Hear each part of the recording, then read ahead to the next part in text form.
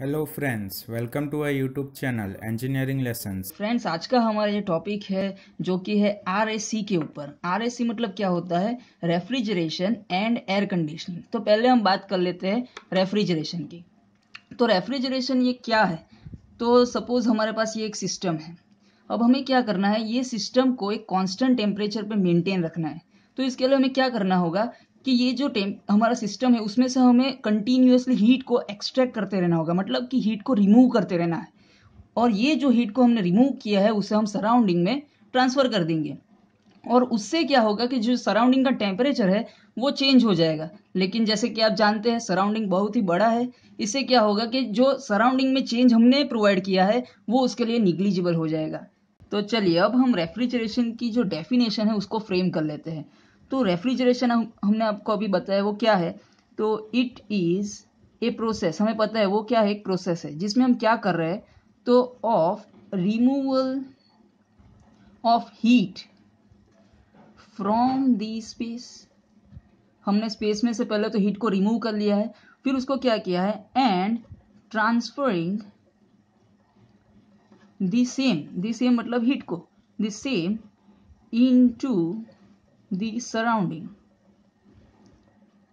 और उससे क्या हो रहा है?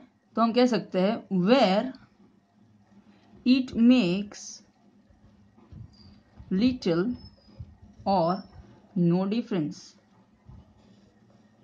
तो ये हो गया आपका सिंपल डेफिनेशन ऑफ़ रेफ्रिजरेशन चलिए तो अब बात करते हैं रेफ्रिजरेंट की।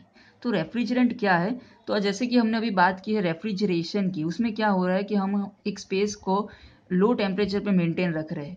बाय यूजिंग सम सब्सटेंस हमें कोई चाहिए जिससे क्या कर रहे हैं, हमको हीट को रिमूव करने के लिए हमें कोई चीज़ तो चाहिए होगी। तो वो चीज़ क्या है, वो सब्सटेंस क्या है, वो रहेगा आपका रेफ्रिजरेंट मतलब कि रेफ्रिजरेंट क्या है, वो एक हीट कैरिंग मीडियम है। वो ऐसा सब्सटेंस रहेगा जो आपके सिस्टम में से हीट को रिमूव करता रहेगा और सराउंडिंग में ट्रांसफ़र करता रहेगा। तो हम उसे कैसे डिफाइन कर सकते हैं? तो we can say that it is a heat carrying medium, or you can say substance, which absorbs heat from the system. जैसे कि आपको पता है, हम क्या कर रहे हैं? हीट को एब्जॉर्ब कर रहे हैं सिस्टम में से। टू बी कूल्ड हम ऐड कर सकते हैं टू बी कूल्ड फिर हम क्या कर रहे हैं उसे? And rejects the heat to the surrounding मतलब कि हमें क्या करना है, उस हीट को रिजेक्ट कर देना है सराउंडिंग के अंदर।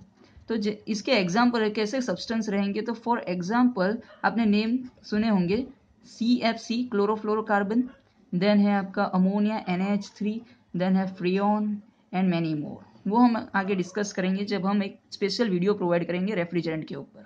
चलिए तो अब बात करते हैं नेक्स्ट टॉपिक की, जो कि है आपका एयर कंडीशनिंग तो जैसे कि आपको पता है ह्यूमंस को ऑलवेज कंफर्ट में रहना पसंद है।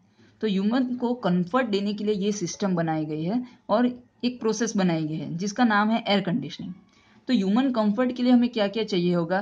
तो ह्यूमन को मेनली कंफर्ट के लिए क्या चाहिए होगा? एक कांस्टेंट टेम्परेचर चाहिए, जैसे कि 25 टू 27 डिग्रीज फिर क्या है?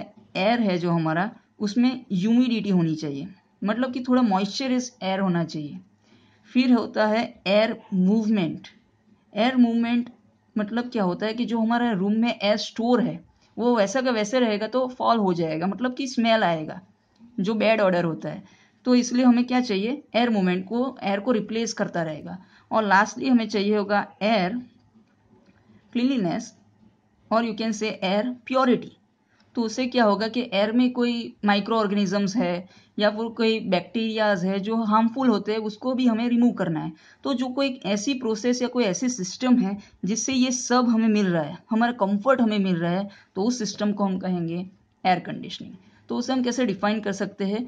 इट इज़ ए हमें ये सब साथ में चाहिए तो we can say it is a simultaneous simultaneous का मीनिंग होता है एक साथ कंट्रोल हमें क्या करना है? ये सबको कंट्रोल करना है।